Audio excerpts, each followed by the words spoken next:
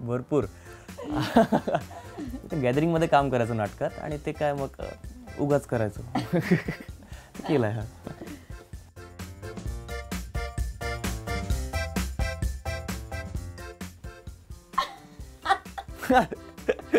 नाही आम्ही फ्रेंड होतो बरेच जण फिरायला जातो बंक करून.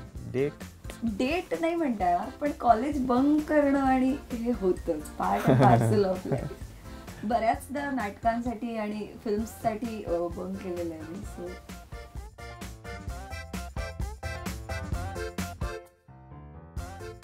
हे घरी दाखवणार आहात का? हो.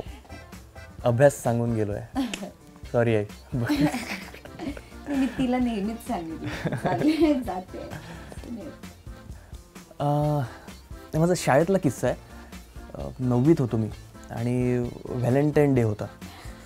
आणि माझ्या मित्राने सांगितलं की काय करायचं रे? रोज द्यायचं मुलीला. म्हटलं रोज? बरं ठीक आहे देऊया. आणि तो म्हणला की काय? मग ट्युशनला ती आली नाही त्या दिवशी. तो म्हणला घरी जाऊन दे. काय फेकायचं फक्त असं. म्हटलं बरं ठीक आहे. मी गेलो. रोज फेकला. तो म्हणला नाही दहा रोज घे दहा उगाच. काय माहिती काय सुचलं दहा रोज. पहिला फेकला त्याला म्हटलं अरे तिला कळेल कसं मी फेकला म्हणून. सोपं आहे. आवाज देऊन फेकायचं ना. मी म्हटलं हा यार हे चांगलं आहे आवाज देऊन फेकायचं. मग आवाज दिला रोज फेकला. काही नाही झालं. मग तिसरा चौथा रोज आला आणि गुलाब फेकायला गेलो तिची मोठी बहीण आली बाहेर. आणि घरी नेऊन जे जे झापलं आहे त्यानंतर आयुष्यात कधी मला असं करायला सुचलं नाही. त्यामुळे व्हॅलेंटाईन डे आला की मला हे आठवतं. म्हणून सहज बाकी काय नाही.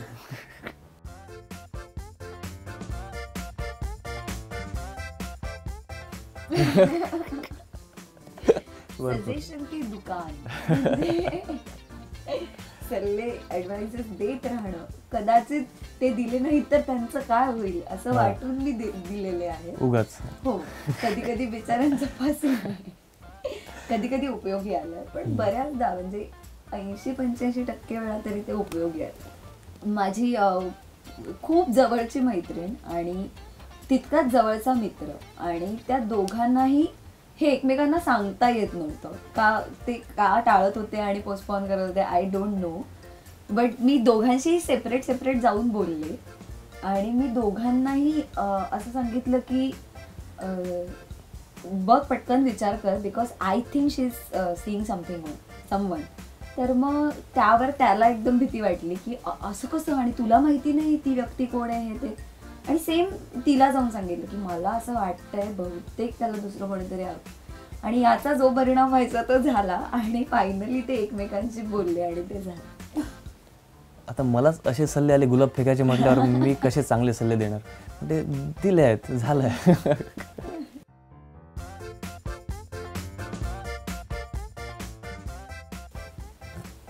अरे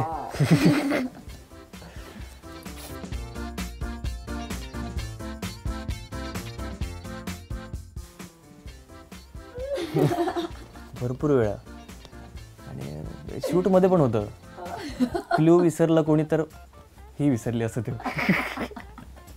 हो खूपदा झालंय. मी स्वतः सुद्धा जॉईंट फॅमिलीत राहते. सो तिकडे तर बऱ्याचदा असं होतं की खूप माणसं सापडतात ब्लेम करायला. बऱ्याचदा छोट्या भावंडांना काय मोठ्याही भावंडांना बुली केलेलं.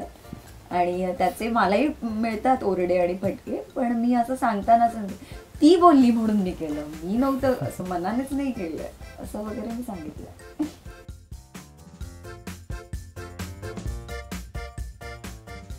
न सांगता नाही. न सांग हा दोन तीन दिवसांनी सांगितलं त्याला. नाही, म्हणजे मी लगेच तर नाही सांगून लगेच. हे मी घेते किंवा दिसल्या दिसल्या. तिने घातलाय ना तो गॉगल हा मला हवा.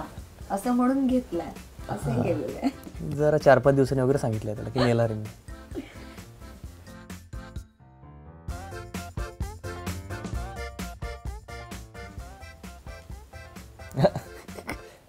एकाला काय असतो मोबाईल नाही नाही मी नाही. मी असं कपडे किंवा उषा फेकलेल्या आहेत खाली जमिनीवर. आणि काहीच नाही तर स्टीलचा ग्लास होता टेबलवर. तो मला असं बघायचं होतं की ते असं जसं दाखवतात फिल्म सिरियलमध्ये की थांब असं तसं होतं का? तर मी तसं केलं पण त्याच्यात पाणी होतं जे मला माहीत नव्हतं. आणि ते सगळं ओलं झालं होतं. खूप ओरडा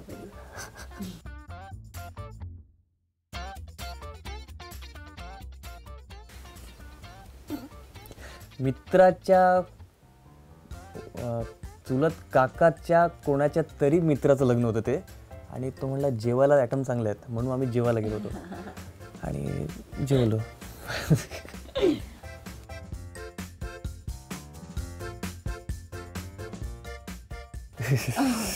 हो मला पकडलं होतं. मी नो एंट्रीमध्ये गाडी टाकली होती. आणि मला लायसन्स मागितलं ते कॉन्फिस्केट केलं. आणि सांगितलं आता उद्या तर सुट्टी आहे परवा येऊन घेऊन जा. त्या सम त्यांच्यासमोर जो काही मी अभिनय केला आहे. सिग्नल ट्रिपल सीट हेल्मेट या सगळ्यांसाठी मला पकडलं झालं.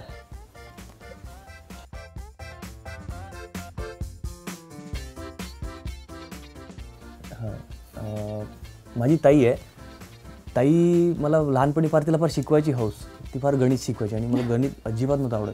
ती रोज संध्याकाळी घेऊन बसायची. आणि झालं की मला प्रचंड राग यायचा तिचा की ताई म्हणायचो की तू का शिकवते? का माझ्यावर सगळं शिक्षण काढ तिला शिकवायची फार हौस आहे दुसऱ्यांना शिकव. मला का शिकव? त्याचा फार राग यायचा. आणि नंतर काही वर्षांनी तिचं लग्न झालं. आणि तेव्हा नंतर ती गेल्यावर कळलं की तिला काय हे करायचं होतं? मला काय समजवायचं होतं? काय शिकवायचं होतं? त्यामुळे ते असं वाटतं की ते ताई फार कट्टीबट्टीचं नातं होतं ताईसोबत माझं. माझं आईशी सतत कट्टीबट्टीचं हे होत असतं. कदाचित ती मला सगळ्यात जास्त जवळ असल्यामुळे ते असेल. आमच्या चर्चा भांडणं गॉसिप्सही होतात. म्हणजे लोकांना विश्वास बसणार नाही इतक्या गोष्टी मी तिला सांगत असते आणि त्यावरनं मी ओरडेही खाते तिचे सल्लेही घेते. बऱ्याचदा ते ऐकत नाही. पण मग परत मी एंड ऑफ द डे हळूच समजा जर मी तिच्यापासून लांब असेल तर मी मोबाईलवर हं मग ठीक आहे मी उद्या फोन करते. असं म्हणून ते आम्ही मोडून टाकतो ते भांडण.